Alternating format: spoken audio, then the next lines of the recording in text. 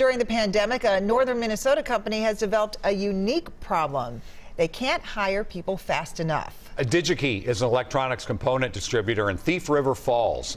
They have grown quickly and are now processing more than 5 million orders a year for clients across the globe. John Lauritsen shows us why the company has become a destination for those looking for work the thing I like to say is you take your iPhone and smash it all over the ground and open it up, those little tiny things in there. We sell things like that. DigiKey got its start in 1972 when ham radio operator Ron Stordahl got the idea to sell electronic parts. Today, they are one of the biggest companies few people have heard of, outside of Thief River Falls anyway. They operate like Amazon with next day delivery.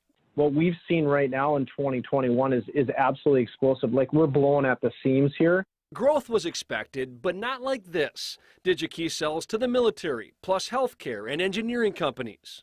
When COVID hit, they got involved with parts for medical devices like ventilators and thermometers. As a result, they've been hiring 50 to 100 people a month just to keep up with demand. I will be the first to admit that when we started, you know, hiring people, I was very nervous.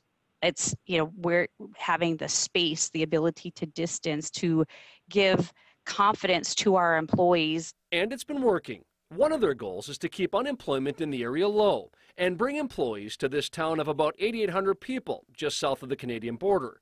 They don't expect the market to slow down anytime soon, but they do anticipate that hiring at this rapid pace will eventually taper off. We'd hire 150 people a month right now if we could on the front end of the year. We knew it was going to grow, but not at this not at this rate or at this level. John Lauritsen, WCCO 4 News.